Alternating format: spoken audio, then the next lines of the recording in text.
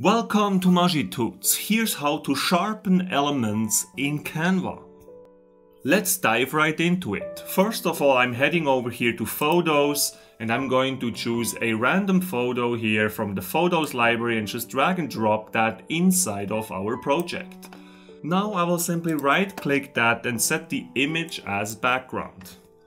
To sharpen this picture, all you need to do is to click on it, and then choose adjust here from the top bar and then you might be surprised that there's apparently no sharpness filter here under adjustment. However, the thing is that the sharpen feature is actually the opposite of the blur feature. And that means to sharpen your picture, you would just simply have to move the blur fader to the left and that would indeed sharpen your picture.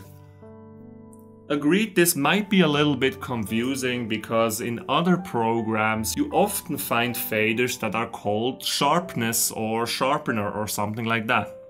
But rest assured, all you need to do in Canva to sharpen your picture is to use this blur fader here and just move it to the left rather than the right. If I move that here to the right, you will see that our picture will indeed be blurred instead. Now to wrap things up, I would like to show you one cool thing you can do with the sharpener here.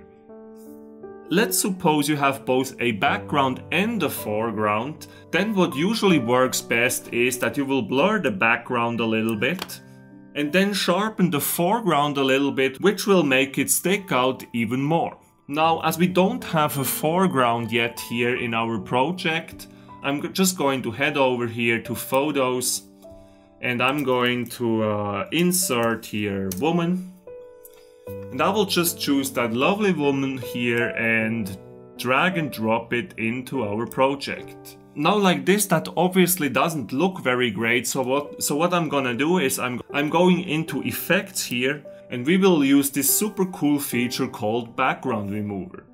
To make use of that feature simply click on it and you will see that Canva is working its magic.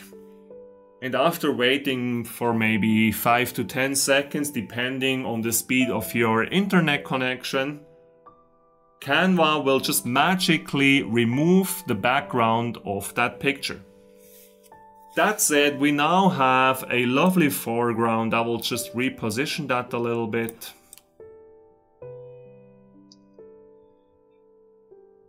Now it's perfectly centered and as I mentioned before, to make that look even a little bit better, what we would do is we would go to adjust here, and then I'm just going to sharpen that foreground a little bit.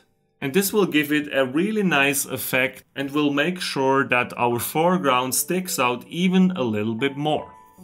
I often use this technique for creating YouTube thumbnails. If creating YouTube thumbnails is something you are interested in, I also have a full tutorial on that. You will find the link to that tutorial in the description of this video. That's it guys, all you need to know about how to sharpen photos and pictures in Canva.